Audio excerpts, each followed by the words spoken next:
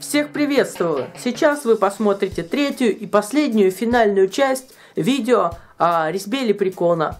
Как всегда, не забываем ставить лайки и комментировать. Смотрим!